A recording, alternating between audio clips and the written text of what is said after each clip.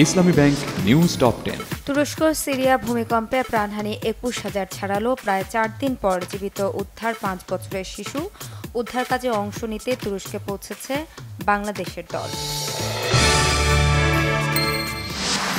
আগামী ডিসেম্বরে জাতীয় নির্বাচন অনুষ্ঠিত হবে, প্রস্তুতি নিচ্ছে আওয়ামী লীগ। বিএনপির আগুন সন্ত্রাসের আশঙ্কায় শান্তিপূর্ণ সমাবেশ করা হচ্ছে বলেছেন ওবায়দুল কাদের।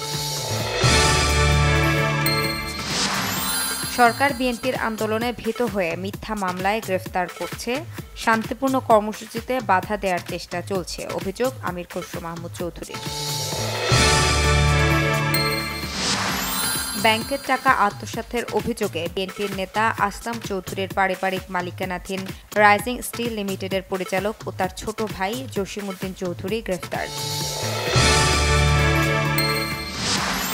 অস্থির নিত্যপণ্যের বাজার ব্রয়লার মুরগি বিক্রি হচ্ছে কেজিতে দুশো থেকে দুশো দশ টাকায়। বাজার তদারকি জোরদারের তাগিদ ক্রেতাদের। বন্ধের দিনে জমে উঠেছে অমর একুশে বইমেলা, শিশু প্রহরে ছিল কোমলমতিদের উৎসব মুখর আনাগোনা। রাজধানীর বসুন্ধরা কনভেনশন সেন্টারে জমে উঠেছে জুয়েলারি ফেয়ার। অলংকার শিল্পের পঞ্চাশটি প্রতিষ্ঠান মেলে ধরেছে এক্সক্লুসিভ ডিজাইনের স্বর্ণ ও ডায়মন্ডের নানা অলংকার। সাগরুনি সহ সকল সাংবাদিক হত্যার সুষ্ঠু বিচার চেয়েছেন ঢাকা সাংবাদিক ইউনিয়ন ডিইউজে নেতারা। টানা দ্বিতীয় দিনের মতো বায়ু দূষণে শীর্ষে রাজধানী ঢাকা।